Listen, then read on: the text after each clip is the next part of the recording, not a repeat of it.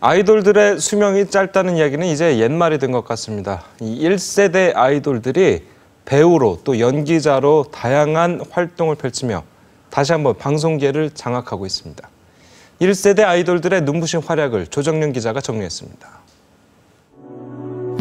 1990년대 핑클과 함께 최고의 아이돌 그룹으로 사랑받았던 SES.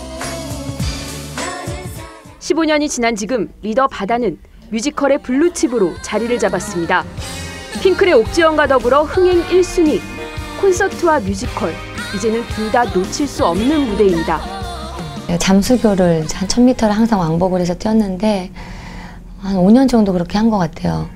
뭔가 달라져야 된다라는 그런 생각만 하면서 민낯에 머리를 질끈 묶고 온몸을 던지는 핑클의 성유리. SES의 유진과 함께 스크린의 공주로 변신한 성공 케이스입니다.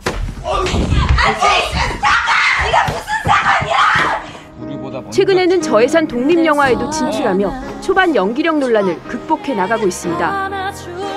자기 분야를 지키며 관록을 쌓아가는 경우도 있습니다. 이효리와 신화가 대표적. 최근 의상에서부터 퍼포먼스, 프로듀싱까지 직접 맡은 새 앨범으로 음원 차트를 석권하며 1세대 아이돌의 저력을 과시하고 있습니다. 자기 적성에 맞는 분야로 다 이제 흩어져서 10년 이상 연마하다 보니까 이게 이제 프로페셔널한 경지에 올라서서 반짝하고 사라진다는 편견을 깨고 새로운 별로 거듭나고 있는 1세대 아이돌. 알고 보면 모두 끊임없는 노력의 결과입니다. TV조선 조정린입니다.